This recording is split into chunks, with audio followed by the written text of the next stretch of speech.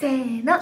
ビヨーンズです。一岡伶奈で高瀬くるみです。平井美葉です。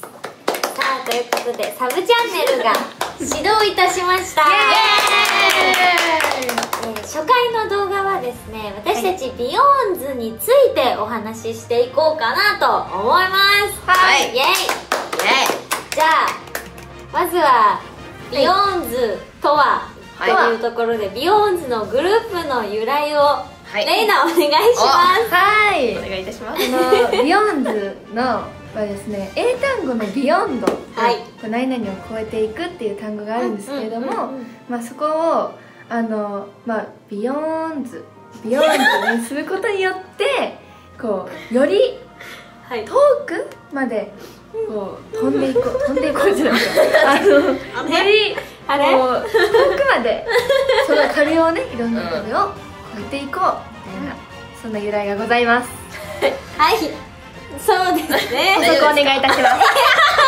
えっとちょっとちなみにあの、スタッフの皆様今の説明何点でしょうか？やばい。最低学びだから。20点。あー。まあでも伸びしろあるんで。すそうそのポジティブかよ。はい、ちなみにですね英単語、はい。 beyond 何々を超えて何々の向こう側へから来ている、えー私たちの名前の由来なんですけれども、えー既存の概念だったりアイドルっていうものだったりとかあとはいろんな壁をビヨーンと超えていこうという意味が込められております。はいさすがです。はい。はいということで。で私たちビヨーンズ O がね5つあるはい。っていうのがやっぱ一つ特徴かなと思うんですけれども、はいはいじゃあその特徴についてみよちゃんいい何か話せたりしますか？はいあまず私たちのロゴはですねはい。あのーまあね英語でう書くんですけれどもその真ん中の「O」が5個あるうちのその真ん中のうん。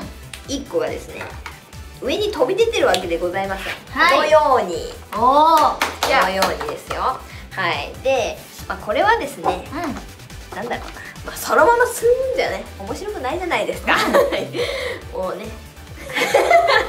はい。書いてる。書いてるさんが書いてる書いてる。矢印までつけてくれてたんだけど、はい。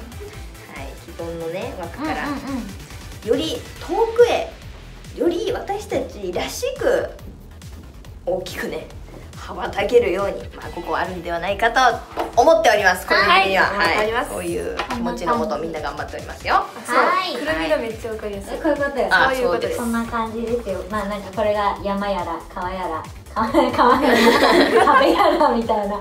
これをねこう越えていこうということで真ん中がこう一つ上がったここかなという感じですかね。はい。はい。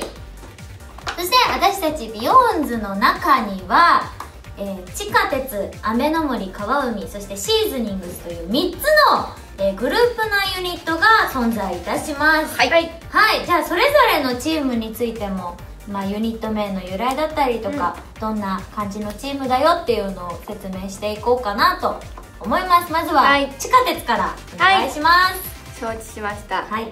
我々我々というか4人組のはい。地下鉄というグループがございましてこちらのあのユニットのグループ名の由来はあのスペイン語がでこの地下っていうのが女の子っていう意味なんですよ。はい。はい。そしてこの鉄はうん。哲学の鉄から来ておりまして物事を深く考える女の子っていう意味があるんですけど、はい。その女の子が持ってるこの心情だったりとかっていうのをパフォーマンスを通してよりねなんか表現をしていってほしいという由来があります。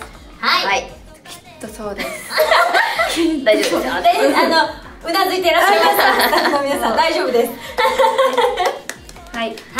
じゃあ続いて。はい。続きまして私高瀬くるみも所属します雨の森川海です。はい。はい、えー、雨の森川海はですね5人組のユニットになるんですけれども、えーまず名前の由来なんですけれども、い。えーメンバー5人それぞれですね高瀬くるみ前田心山崎ゆはね岡村みなみ清野桃姫この5人の名前の中に、えー自然に関する、えー言葉だったり漢字が、えー使われていることもありまして、えーその自然のようにですねこう私たちも人々の心に潤いをこう届けられるようなユニットになってほしいという意味が込められた名前になっております、えー大切なポイントとしましてはですね、はい。雨の森と川海の間にですね間が一つ入るんですよね。人の名前みたいになんですけれどもあの今の世の中こうハッシュタハッシュタグというものがあの存在するじゃないですか、うん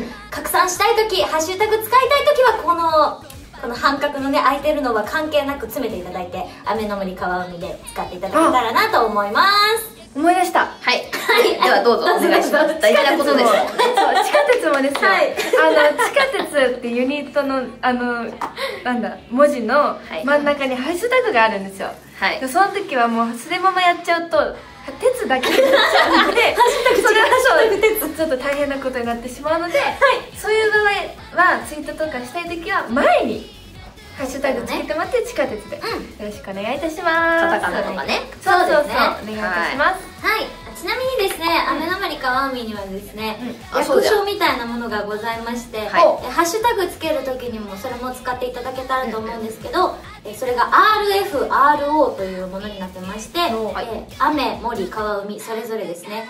レインフォレスト RFR だから リバーオーシャンですね。あの今ちょっと画面判定してて一瞬困っちゃったそんな感じななのでですねその RFRO もぜひ使っていただけたら嬉しいなと思います。はい。はい。そして続いて。はい。そしてですね、うん。あのービヨンズの中ではオーディションの合格者によって結成された3人組のユニットがございましてそれがシーズニングスと言います。はい。この、はこのちょっと先生っぽくやりたいんだ。このシーズンをはそうですね季節ですよね、うんまあ、季節このシーズンっていうのは味をつけるっていう意味もあるんですけれども、このシーズニングっていうのはなんだその調味料っていう意味があるわけですよ。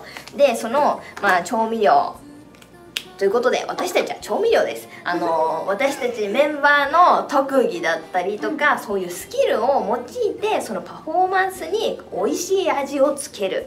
パフォーマンスにこう鮮やかな彩りを加える、そういう人たちであれっていう意味でシーズニングスというグループ名をいただきました、はい。長期では長期のポイントはですね最初の S と最後の S が大文字になっておりますので、そこのところよろしくお願いいたします。はい。ということでした。でした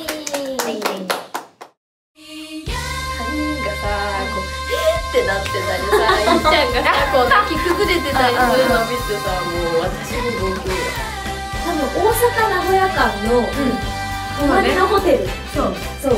ででその時にそのこの後ホテルに来てねって当時マネージャーさんが言われて3人で。なんかしてた。らそっちじゃなくて怒られるのそりゃそうだ。そりゃそうだ。とりあえず